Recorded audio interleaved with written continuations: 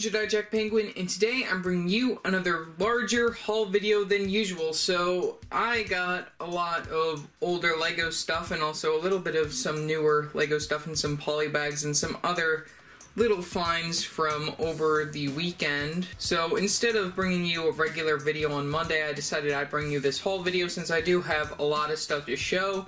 Starting off with one of the more interesting finds inside this lot, I did buy a large bin of LEGO stuff to look through, which there were a lot of minifigure parts and also a lot of parts to different sets, which I do have a list on my phone of some of the sets that I have seen parts for and that I'm working on piecing together currently. This is the first LEGO set that I actually built from that haul, which is like about like 98% complete. It's missing some of the minifigure parts and then like maybe like two or three parts here and there around it. But this is the Fort Legorado, which is one of those old like western like Lego sets right here. You can see we have this Fort Legorado sticker right there. I don't know if I'm pronouncing that right, but it's just it's just very cool. We also got some like Western minifigures. This is from 2002. Lots and lots of really cool stuff, and it also included four of those tan base plates right there which those are really cool. And like it, it just it's just very interesting like that I was able to actually piece this together. This is definitely going to be something really interesting to keep within my collection. I don't know where I'm gonna put it right now since it's so big but I'm probably gonna separate it since there are some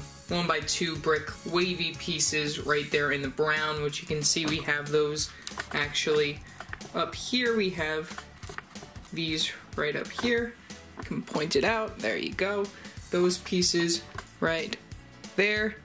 We got those to connect this thing all together, which, I mean, it's just a very delicate model, still the same, but it, it's just crazy. I don't know if I'm going to do a review on it since I don't own all the stuff for it, but I do have a lot of older things that I plan on doing reviews on that I will be showing off inside this haul, which means I gotta back up a little bit since we do have some other things. So one of those other things is this very rare old LEGO Star Wars UCS set, that being, I actually don't know the set number for this since I don't have the page up. We have the Naboo N1 Starfighter, which this is one of the first LEGO sets to actually have a lot of like chrome pieces, which you can see, we can zoom in over here. We have a lot of chrome pieces in here. I got this for a price I'm not going to mention right now, but this is just, it was just crazy that I actually found this. It wasn't complete, but I did have some of the pieces to complete it within my own collection, but it did have all of the chrome pieces. I spent all of the Saturday leading up to actually recording this video, cleaning that set up, which there are a lot of stickers on there, which is a little bit annoying. Some of them are peeling off, but just overall, it's just a very nice display piece. I don't know if I'm going to sell it or not, but I definitely have plans of taking a better look at it in a review this week, so you can look forward to that. You can just push that a little bit over there since I do have a lot more stuff to show off. I also went to one of my other favorite thrift stores, Antique Attics, over the weekend, which we got the 101 Dalmatians lithograph right here, which this is just celebrating their 58th anniversary, which happened on Friday of last week. Let's see if I could fit that in somewhere. One other LEGO set that I got in Antique Attics is set number 7101, which if you've seen my Instagram, you saw this, and the LEGO Western set and that Naboo Starfighter. We have the lightsaber duel set right here, which this was not new, it was previously owned. It does not have the instructions, but it has a very nice condition original box right there and it has all the pieces to build the set. So I plan on reviewing that around April when we have the 20th anniversary of LEGO Star Wars sets release, which I'll be getting a lot of those. I do have the set just hanging out over there since I do plan on doing the review on it. Also this weekend I went to Walmart, which of course they had two new polybags for me to collect and also I was looking for clearance there. They didn't have a lot of clearance at some of the Walmarts that I went to since they were either out of stock of it or they just didn't have it at all because it's it's Walmart and Walmart sort of sucks on occasions. So the first polybag that I was very excited to get my hands on was set number 30364, which is the Lego City popcorn cart right here. This I'll be doing for a miniature review sometime in February after the Lego movie stuff, since I plan on doing that into February since the release of the movie. The next polybag that I got from Walmart is set number 30572, which is the LEGO Creator Race Car polybag, which, like I said with the other one, I plan on doing some LEGO Movie 2 stuff before I get into any of my other polybags since the movie's releasing. And then also, previously from Target, which this I did not include inside a video at all yet, we have the LEGO Movie 2 set 30340, which is Emmet's Peace Offering, which is another polybag. This will be this week's miniature review, so you can look forward to that as well. And then, also from Walmart, I did find the last four of the LEGO Unikitty collectible minifigures, which right there we have all four of those packs. I will be opening those. I don't know if I'll do a video on them or not, but I do already own one of them, which is the Dalmatian Puppycorn, which I got at the New York Comic Con back in 2018. And that is all for my Walmart and Antique Attic stuff, but I did not yet tell you where I got the Lego Fort Legorado right there, which I got that at another one of my local thrift shops, which is Deep End of the Sandbox, which is also on Long Island. So like I said before, I do have a list of some set numbers right here, which you can see on my phone. We have some set numbers right there, 7106, 7111, 7126, which those are the maybes right there. That is for a X-Wing right there and then the 7144, and then the 6769 or 6762, which I think that might be this set that I have in front of me, and then 4709, 5987, and then 41091, and then 6575, which a lot of numbers right there. I actually don't remember what sets some of those are. I do know that one of them is one of the original Slave ones. Though I haven't found the Boba Fett minifigure in here, I know that I have the cockpit and some of the pieces to it. I also got a Lego Friend set that was 100% complete, that being set number 41091, which is this set. I only have the instructions right here, but I have the set 100% complete with the extra pieces. So yeah, that's pretty much all for everything that I can show up here. I have everything else behind me, so let's just switch views for a little bit. Which this brings you to the other messy side of my room right here, which if you don't know, I'm still sort of moving in here and I'm sorting a lot and I have just stuff cluttered throughout the floor and everything. And also I have some leakage from the rain that we've had over the past couple days on the other side of my room, which is also where I keep my instructions, which is just a little bit annoying, and also some of my boxes, but I do have a lot of my stuff just pushed forward all the way over there. You can also see I have my Millennium Falcon box sitting on my chair over there, and also the box for the microscale Hogwarts, which also has some of those folded boxes right there. I have a lot of my boxes just in this room in general. But then we have this big blue bin right here, which you can see that I don't have a lot of stuff in there anymore since I've been sorting through a lot of it.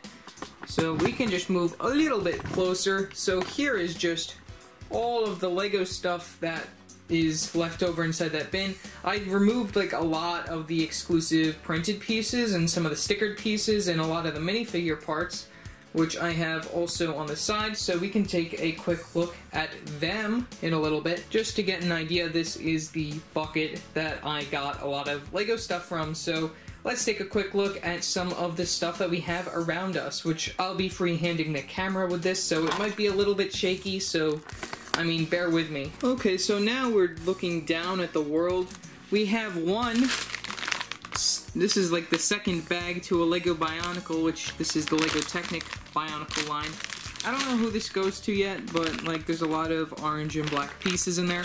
I know that the place that I got all this Lego stuff from has another batch of Technic stuff that they're planning on selling to me, so I mean, I'm gonna see what happens with that, and we'll see if I can complete any more of these sets with those pieces as well, which, you know, we'll see what happens in the future. I do have a lot of minifigure parts. A lot of these are, like, incomplete, though, since, like, I do have a stack of some heads right here so we can take a better look at them. Let's just get in the light a little. There we go. Here are some heads. We have one Star Wars one right there, no other Star Wars ones, but a lot of these are just like classic old ones, which they have a lot of like the weird printing, like the hairstyles and stuff, which I just think that's really funny that they have that. I have an almost complete Dumbledore. I did get a hairpiece from my own collection for this character. There we go. There's a better look at Dumbledore, which I don't have his beard right now, but that's Dumbledore. We also got a Han Solo in Carbonite right here, which this is pretty cool. Really love this. There we go. There's a better focus on the Han Solo in Carbonite. Really love this piece. I don't know if I actually have this in my collection yet, which also, if you look in the background, I have started building the Hogwarts Castle, which is the 2001 version. I have a lot of the pieces over there. I will get into that in a little bit. We also have Peeves, which is also from that set, which he also has the older Ron Weasley bowl cut hair piece in that orange color, which I just put it on there since that's the only piece that I found that was otherwise Harry Potter. And also Peeves, you know, that's pretty cool. I've never owned this character before, so pretty cool to get him. I also know that one of the sets that I mentioned inside that set list was a Dino sub-theme to the Adventures theme, which we have the Johnny Thunder guy right here.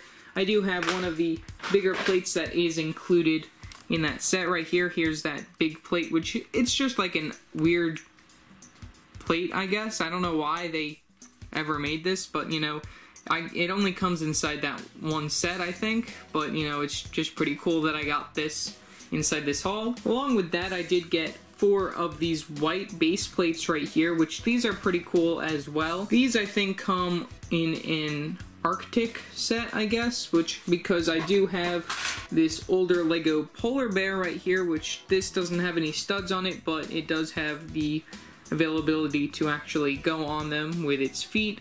It's a little dirty, but you know, it's pretty cool. Really happy that I got my hands on this. This first time I've gotten a Lego Polar Bear. Otherwise, here's pretty much everything else that is included. I did get this rather odd Technic guy right here, which I don't know.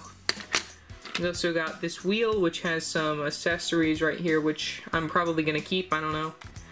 But a lot of pieces in here, a lot of torsos, and like a major amount of legs right there and also a lot of dinosaur pieces, which if you see, I have put together this dinosaur right here. And then I have this dinosaur, which also comes inside that dino set that I mentioned before for the Adventurers set. We also have some, like, Mosasaurus-like pieces, I guess. But, you know, lots and lots and lots of parts. Lots and lots of minifigure parts. I'm still pulling some of them out when I'm looking through that bin but I've been like circling through it with like all the pieces to find for the different sets and everything. That clone turbo tank is not part of the haul by the way, just to let you guys know, that's just part of my own collection. And then I do have a lot of the pieces in here. A lot of those blue pieces right there are for that one Arctic set that I mentioned before as well. We also got this right here, which these are pretty cool. These are these like old minifigures, sort of like cards, I guess, that they included for LEGO Star Wars. I haven't found the Boba Fett that goes with this one yet, or any of the other ones. I have two more of these, and not the cards though, which I think is pretty cool. We have a lot of the tan pieces that are also used for the Hogwarts Castle and a lot of the sand green colored pieces. I also am really happy to say that I got a lot more of these lion head pieces, which these I really, I just really love these pieces. They're pretty cool. Definitely some very nice pieces for the Lego Harry Potter theme, but otherwise that's pretty much all for some of the pieces that really stood out to me. I do know that there is a droid escape pod set inside there as well as a battle droid transport sort of ship, I guess, which those are all like older, like 2000, 2001-ish sets, which I just think it's really cool that I got my hands on them. The only Harry Potter thing that I've been able to actually like put together right now is the 2001 Hogwarts Castle, which I'm going to continue working on after this video or something, I don't know, but you know, you can probably expect me to post a lot more pictures on my Instagram. I also have that LEGO Friends car set right there in the background. You can sort of see that. I have the extra pieces inside the little baggie, but I have built that up completely. It's 100% complete. I also have some other Technic and other like Bionicle-ish like stuff over there, which I guess some of that might go with some of the stuff that is in the other amount of Lego stuff that I plan on eventually getting from this shop. We also have some plates that I've sorted out. I'm starting to just like sort some of the different plates and stuff. I have a lot of those larger brick base plates right there, which some of them go to that dino set that I mentioned before, and some of them go to the Hogwarts that I'm currently building, and also some of those light gray pieces. I don't know what they go to yet. I'm going to have to look those up. I think it might be just that Arctic set. I don't know. But there is a lot of very nice, cool stuff here really happy that I got my hands on all of this stuff. So yeah, that's pretty much all for this video.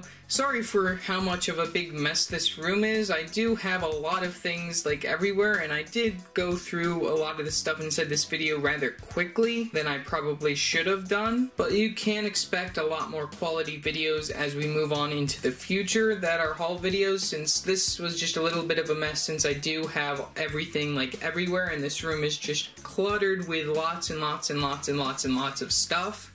So you could probably expect me to do another haul video maybe sometime in the future, or maybe even a studio tour again, just so then I can take a better look at some of this stuff.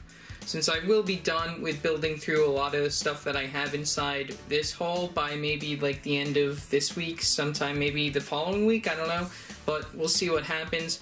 I do have eventual plans of selling that Naboo Starfighter, so if you are interested, tell me in the comments below. Also, if you want to see me open those four Unikitty blind bags, you can also tell me in the comments below, but otherwise I'll probably open them on my own. I don't know what I'm going to do with them, but you know, it's just nice to get four new Unikitties. Hopefully they're all new. If they're not, then they'll probably end up on eBay. I'm gonna have to find a place for that Fort Legorado, which I do have eventual plans of putting up more shelves down here so then I can display my collection a little bit better and more like widespread since I do have a lot of clutter upstairs inside my other room as well. So yeah, I'm probably going to sort through a lot more of this stuff and then probably get back to you with a little bit more of a closer look at some of this stuff, especially some of the minifigure parts since I know a lot of people are interested inside some of the older stuff that I have. So yeah, that's pretty much all for this video. Remember to like and subscribe and hit that bell icon so every time I upload a new video. So yeah, that's it for now and I will see you next time. Bye.